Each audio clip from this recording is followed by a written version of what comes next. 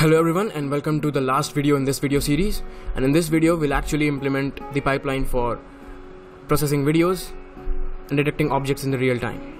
So first of all let me just quickly show you the files that I have added. So there are only two files that have been added. This the first one is detectvideo.py and and this video file that we'll use as an example. So this is a trailer for Harry Potter and the Prisoner of Azkaban. It's the third installment in the Harry Potter series. So this was one of my favorite movies in that series because it is a turning point in the series where the series starts to go from from children centric to a full-fledged fantasy genre movie. Maybe J.K. Rowling realized in the process of writing f- the first two books that this uh, story could be something more than just a children's novel. Maybe that's why she started to include a lot of deeper characters into the movie. And I'll stop right here because I don't want this to become a movie review. So let's get started. So first of all, let me just open this detectvideo.py file. And so if you watched the previous video that in which we have implemented this detect.py file, which is basically a pipeline for images. So it's quite ironic that detecting images requires more code than detecting videos, but it's not like that. Uh, we have a lot of pre-processing stuff done right here, and we don't need to do that again in this in this file. So that's why this seems much bigger. But if you have watched this video, the previous video, you understand most of the things that are happening here. So it won't take a lot of time, and we can just quickly get into the output. So let me just close this. Here I'm including a lot of libraries that are needed. So this function prepare input, uh, well as the command suggests, so it will prepare the input for neural network. It will transpose uh, an image and it will return tensor. So PyTorch does not take image input as NumPy stores it, so we need to transpose it in the format in which PyTorch takes the inputs. So it will do that and will return the image, original image, and the dimension of the image right here. Then this write operation is exactly the same as in the previous video. It just makes rectangles around the objects and it will also make rectangles around the labels of these objects. Okay, now argparse is the same as uh, in the previous video. It will parse a lot of things. It will parse a lot of things in the command line. I've already provided the default values to most of them. So the the input that we are working with will be video.avi. The format is important. It will only take AVI input because OpenCV supports that. Now we'll have uh, confidence threshold, NMS threshold, configuration file, weights file, resolution. By default, I have set this to 128. You can set it to 256, or if you just keep on increasing it, the accuracy will increase, but the FPS will reduce. And I'm working on a laptop here, and so I don't have a very powerful GPU. So the FPS I'm getting is uh, really low, somewhere around uh, 13 to 14 FPS. So I'll speed up the video to make it seem more natural. So here we are just parsing the inputs. Alright, and here we'll use that parsing, the data from the parser. So we'll extract confidence and MS threshold, and then uh, we'll check if CUDA is available. Number of classes is 80. I've written this multiple times. Should just delete it. The box attributes is from the first two videos you might already know that 5 describes all of the bounding box attributes plus number of classes uh, will store the probability of each class. Okay, now we'll load the network and we'll load the classes and pickle uh, palette, color palette. We'll extract the height and that height will be the input dimension. Okay, so if CUDA is available, send the model to CUDA and then set the model to evaluation mode. Now video file is arguments.video and we'll start to capture the video.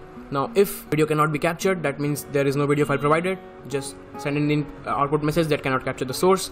Now while the video is open, try to capture each and every frame. And after you capture each and every frame, you prepare that frame for, for inputting into the network. And then as in the previous video, we are making predictions in three scales. So the input dimension has to be repeated two, two more times. Again, if CUDA is available, send both of them to CUDA.